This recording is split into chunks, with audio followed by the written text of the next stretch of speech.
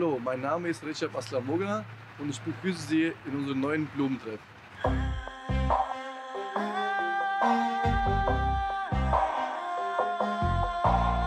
Wir bieten in unserem Blumentreff Topfpflanzen, Dekoartikel sowie frische Schnittblumen.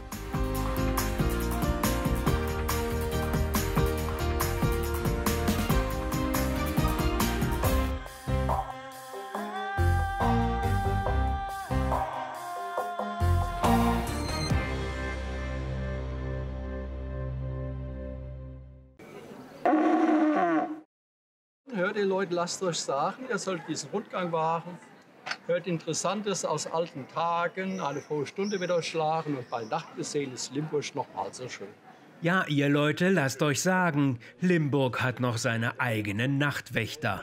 Zugegeben, ihr heutiger Job hat nichts mehr mit dem im Mittelalter zu tun, aber gewandet mit Hellebarde und Laterne gehen sie noch heute durch die engen Gassen, im Schlepptau Touristen und Einheimische, die sich von den Nachtwächtern die gut erhaltene Altstadt zeigen lassen wollen.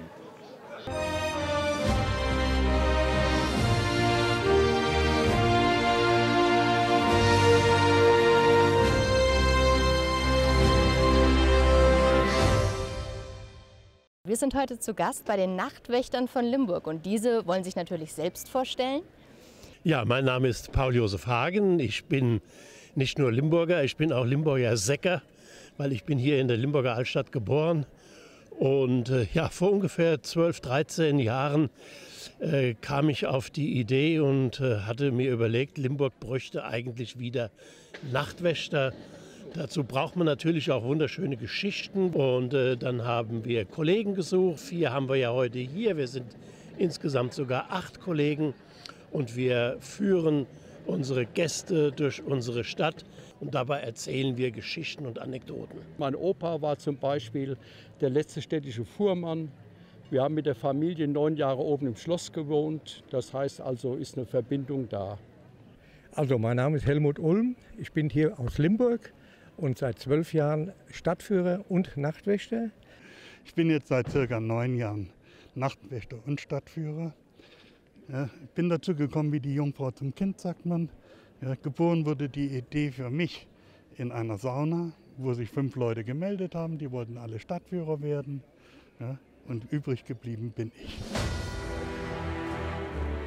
Im Mittelalter gehörte der Nachtwächter meist zu den unehrlichen Berufen und war schlecht bezahlt. Er lebte in ärmlichen Verhältnissen, in Limburg sogar vor den Toren der Stadt. Wir haben nur für die Ruhe und Ordnung gesorgt hier in der Stadt, damit abends die Leute auch wirklich frühzeitig zu Bette gingen. Mit den Hähnen, sagt man ja, steht man wieder auf. Und äh, das war unsere Hauptaufgabe gewesen. Und deswegen waren wir auch sehr beliebt in den Kneipen. Denn wenn wir reinkamen, wusste jeder, oh, jetzt wird gleich die Kneipe geschlossen. Aber der Wirt war meistens sehr, sehr schlau gewesen hat uns einen Korn spendiert und ein Bier. Und wir haben noch mal alle Augen zugedrückt und sind weitergegangen. Wovor der, die meisten Menschen im Mittelalter Angst hatten, war das Feuer. Deswegen mussten wir bei unseren Rundgängen abends kontrollieren, ob in den Häusern das offene Licht gelöscht war. Jeder Bürger, der nachts durch die Altstadt ging, musste eine Laterne haben. Hatte er keine Laterne, war es das lichtscheue Gesindel.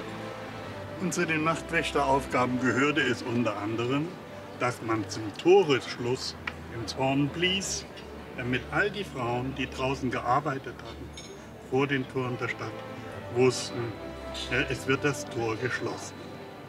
Wenn zu, dann zu. Es gab kein Wenn, kein Aber und ich wollte nur mal, gab es nicht.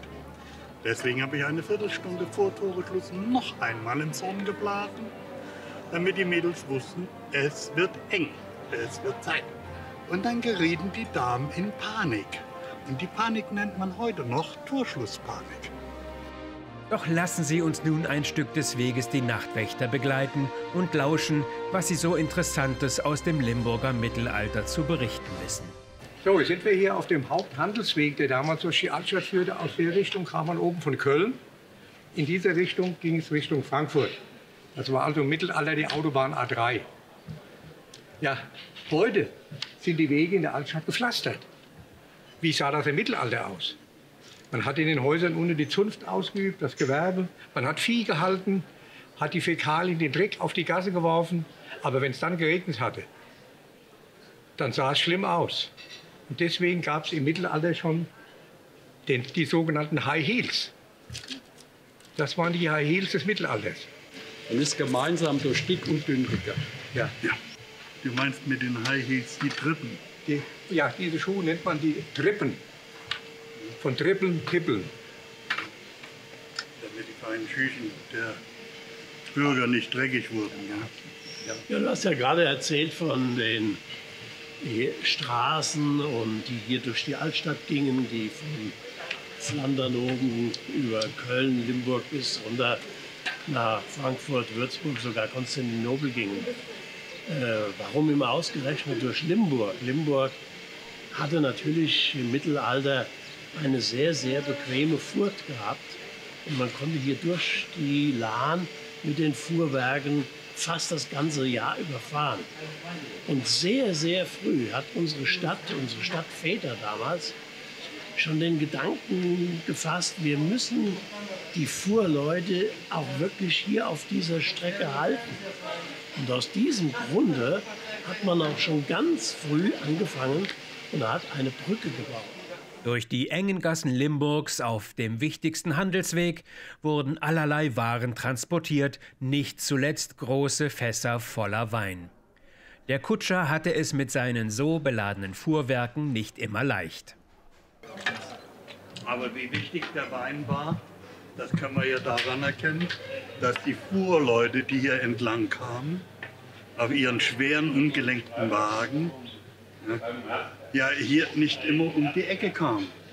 Damit die nicht die Ecke umreißen, hat man da Abstandshalter hingebracht. Genau. Da sind die Fuhrwerke rangekommen und durch die eigenen Gewichte wieder in die Mitte geschoben worden. Die Kutscher zumeist besoffen. Man hatte ja nur Wein, man hatte nur Bier. Ja. Das Wasser aus der Lahn hätte ich nicht getrunken, da waren die Ausdünstungen einer Stadt drin. Ja. Wenn Bier umgekippt war, sauer wurde, was hat man da gemacht? Man hat Kräuter reingejagt. Und bei den Kräutern war dann schon mal die eine oder andere Tollkirsche dabei, sodass dann eine ziemlich lustige Geschichte wurde.